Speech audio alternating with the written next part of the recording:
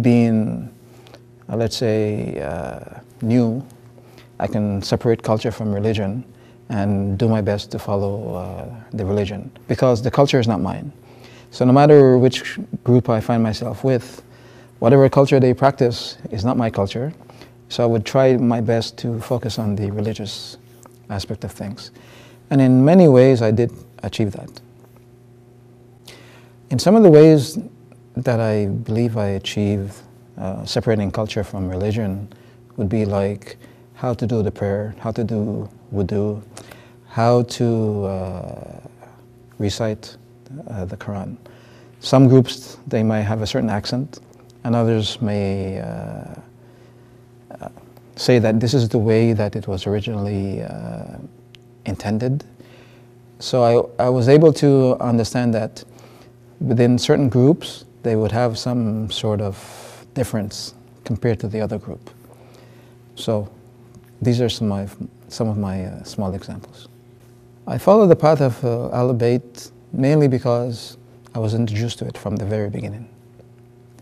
I did not know anything about Sunni Shia when I said the Shahada. And Alhamdulillah, when I did say the Shahada, it was among brothers and sisters who were Shia.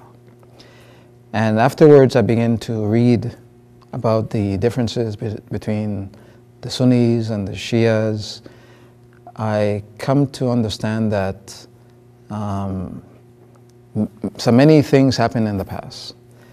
And the, these things that happened in the past led us to the path that we are in today. So, Alhamdulillah, I still maintain uh, my identity with uh, Shia Islam. And I do believe that this is the, uh, the way to be.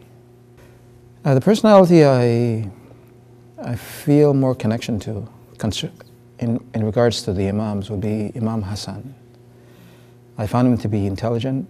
I found him to be uh, a strong man. I found him to be, um, uh, how can I say, inspiring. He, he inspired me. This is not to say that all the other Imams, for example, his father, Imam Ali, salam, uh, is any less than him, or Imam Zaman, salam, is any less than him. But for me, he is uh, one of the most inspiring figures in, uh, among the, the Imams. I attempted to go for Hajj uh, twice. And in both cases, it didn't work out.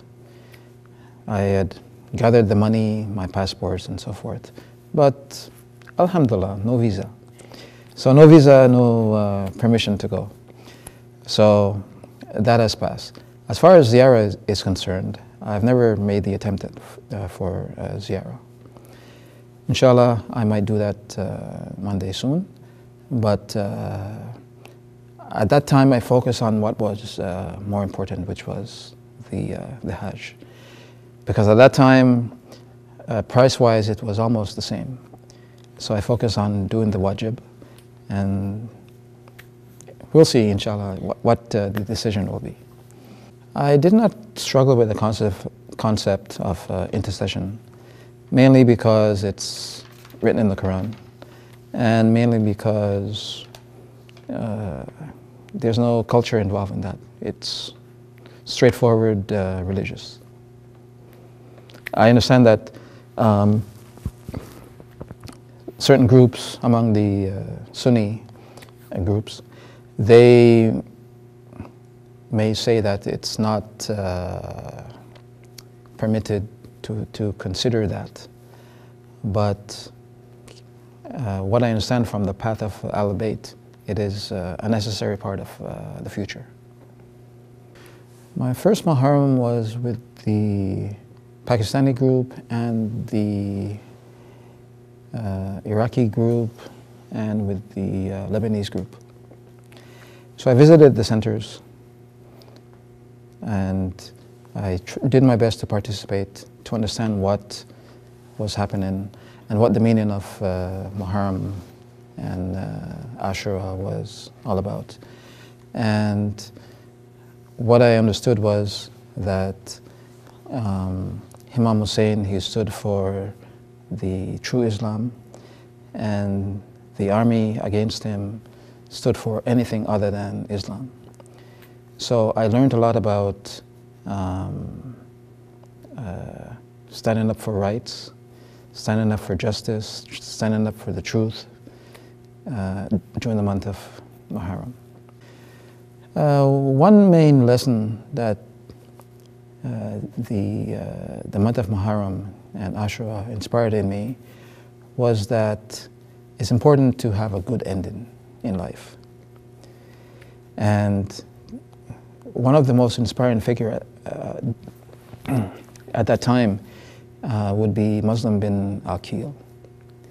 He was the ambassador to Imam Hussein, salam, and he was a very good uh, ambassador in my opinion.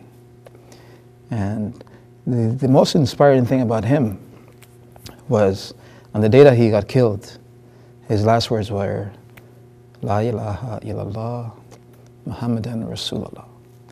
So it's very, very important that someone has a very good ending in life rather than have a, have a very good uh, beginning, but they die in a bad way. Uh, I believe that the uh, Muslim community, um, I, I, don't know if they're doing a good job, but I cannot say they're doing a bad job uh, spreading the message of uh, Imam Hussein, um, the population of Muslims appear to be increasing. This is what the media is saying. And, and this is on a global uh, perspective. So in this way, the message is getting to the people that um, Islam is uh, the truth and the path of uh, Al-Bayt, Allahumma salli Muhammadin wa Muhammad, is also the, the right way to go. Um, can they do more? I suppose there's always room for improvement, but I cannot make an expert comment on this because I do not know enough about the topic. Um, the way I think to, to raise more uh, awareness about the importance of Imam Hussein and the tragedy of Karbala is to have more unity among the Shia group. The Sunnis, they appear to be having their unity. But I think among the Shia group, um, there appear to be so many differences among the cultural basis. For example, on a Thursday night, if you were to go to a center, you'll mainly find, um, let's say in one center, a certain tongue being spoken rather than uh, a common tongue. So I think if we want to, uh, to, to, to expand and to spread the message more, I think if the Shia group was to come together more, it would be of uh, benefit. For someone who's interested in Islam and who would like to know, to know more about Islam, I recommend the same path I took which is begin by reading the Quran. I read, I believe, more than 50% of the book, of the Holy Quran, before I ask myself the question, do I believe what I'm reading to be true? So um, I, rec I, re I, recommend this to be the first step.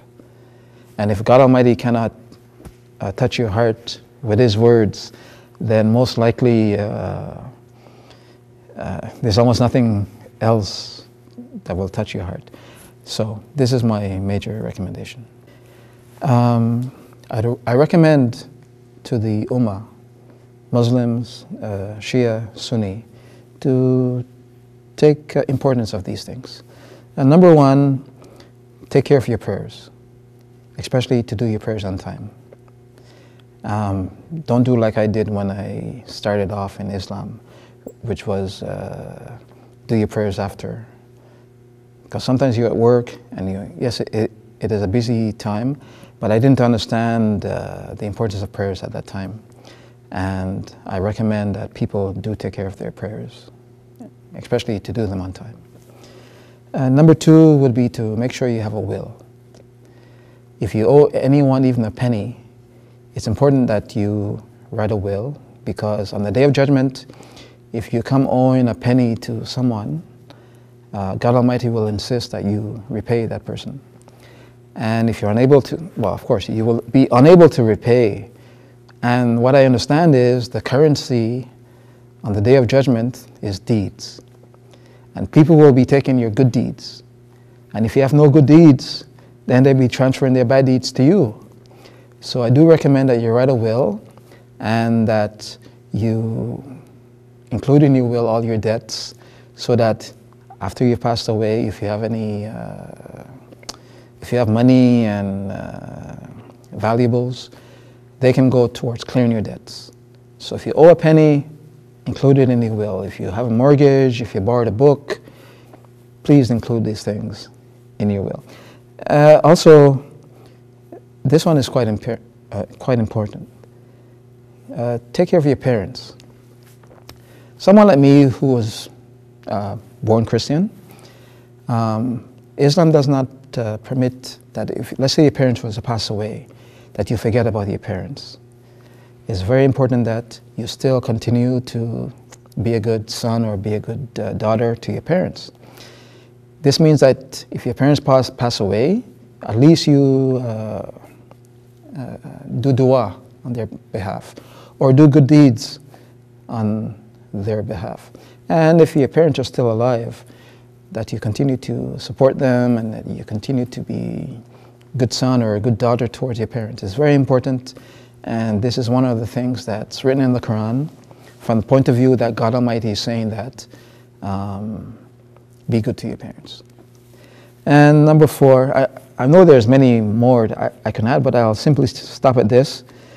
And it is to learn how to recite the Quran in Arabic. During the month of uh, Ramadan, I believe the uh,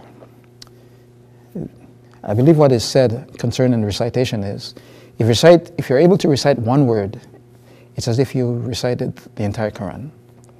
So if you were to get yourself a teacher or go on YouTube or I don't know how you can do it, but work it out somehow that you're able to uh, recite the Quran in Arabic.